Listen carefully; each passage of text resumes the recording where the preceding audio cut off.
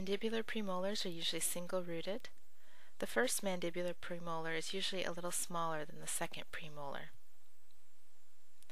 The mandibular first premolar has a long, pointed buccal cusp and a lingual cusp that's not functional.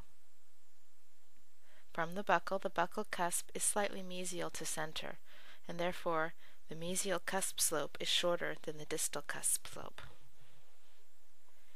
Mesial and distal contacts are just cervical to the junction of the occlusal and middle thirds.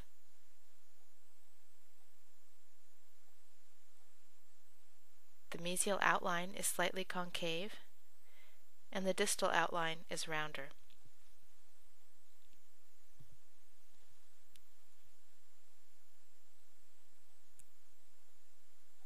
From the lingual view, there's a mesial lingual groove between the lingual cusp and the mesial marginal ridge.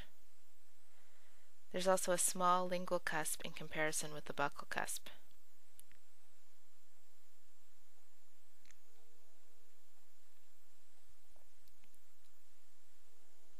From the proximal, we can see that there's a lingual inclination of the crown.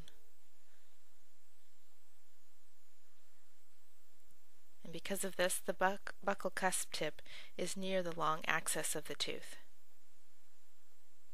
The mesial marginal ridge slopes towards the lingual.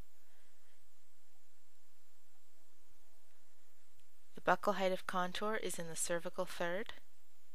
The lingual height of contour is in the middle third.